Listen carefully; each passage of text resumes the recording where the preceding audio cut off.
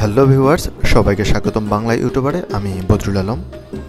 আজ আমরা দেখব বরিশালের প্রত্নতাত্ত্বিক স্থাপনা কসবা মসজিদ, যা অনেকের কাছে আল্লাহর মসজিদ নামে পরিচিত।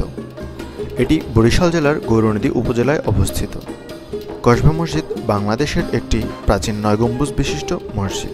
পঞ্চদশ শতাব্দীতে খানজাহান আলী রহমতুল্লাহ আলহের সময় মসজিদটি নির্মাণ করা হয়েছে বলে ধারণা করা হয়। বর্গাকারে নির্মিত এই মসজিদের প্রতিটি বাহু ষোলো দশমিক ছিয়ানব্বই মিটার দীর্ঘ। মসজিদের চার কোণে রয়েছে চারটি মিনার। সামনের দেয়ালে তিনটি এবং উত্তর ও দক্ষিণ দেয়ালে একটি করে প্রবেশপথগুলো পোড়ামাটির চিত্র দ্বারা অলঙ্কৃত। মসজিদটির ভেতরে প্রস্থর নির্মিত চারটি স্তম্ভ রয়েছে। এই মসজিদটি বাগেরহাটের ষাট গম্বুজ মসজিদের অনুরূপ বর্গাকারে নির্মিত। এই মসজিদের পরিমাপ এগারো দশমিক আটষট্টি মিটার এবং দেয়ালগুলো দুই দশমিক আঠারো মিটার চওড়া।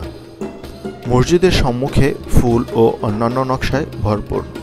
মসজিদের চার কোণে চারটি গোলাকার টারেক রয়েছে। টারেকগুলো রেখায় অলঙ্কৃত। মসজিদের উল্লেখযোগ্য বৈশিষ্ট্য হল, কার্নিশগুলো বর্গাকারে নির্মিত। উত্তর ও দক্ষিণ দিকে একটি খিলানযুক্ত প্রবেশপথ আছে। পূর্ব দিকে মসজিদের ভেতরের প্রবেশের জন্য তিনটি পথ রয়েছে।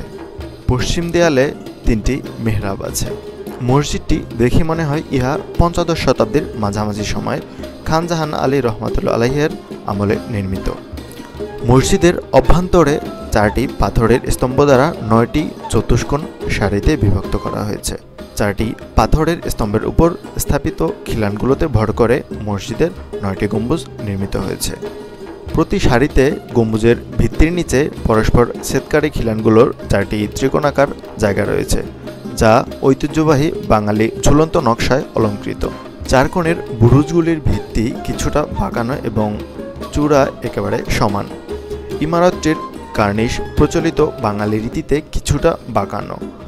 মসজিদের অলঙ্করণে ছিল পোড়ামাটির বুটিদার নকশা খাঁচ কাটা হীরাক আকৃতির নকশা, পেঁচানো নকশা শিকল নকশা এবং গোলাপ নকশা। বর্তমানে এগুলির নমুনা টিকে আছে মেহরাবের কুলঙ্কিতে এবং দরজার খিলানে। প্রত্নতত্ত্ব অধিদপ্তর কর্তৃক পুনর্গঠন ও সংস্কারের পর বর্তমান মসজিদটি বাংলার অন্যতম সুসংরক্ষিত ইমারাত হিসেবে চিহ্নিত হয় এবং এখানে মুসল্লিগণ পাঁচক্ত নামাজ আদায় করেন।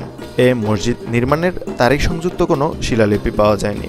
সাধারণভাবে বলা হয়ে থাকে যে সাবহি খান ষোলো শতকের প্রথম দিকে মসজিদটি নির্মাণ করেছিলেন। অবশ্য নির্মাতার আর কোনো পরিচয় পাওয়া যায় না। কসবা মসজিদের ভূমির নকশা, পরিমাণ, অভ্যন্তরীণ বিন্যাস, ছাদের ওপর গম্বুজের অবস্থান, প্রবেশ দরজার অবস্থান ও অলঙ্করণ চারকোণের বুরুজসমূহ প্রভৃতি দেখে একে বাগেরহাটের খানজাহান নির্মিত নয় গম্বুজ মসজিদ এবং খুলনার মসজিদকুর মসজিদ এর অনুকৃতি বলে মনে হবে। খানজাহানি স্থাপত্য রীতির সঙ্গে এত ঘনিষ্ঠ মিল থাকায় মনে করা হয় যে খানজাহান কর্তৃক এ অঞ্চল মুসলিম অধিকার আসার পর পনেরো শতকের মাঝামাঝি সময়ে কসবা মসজিদ নির্মাণ করা হয়েছিল।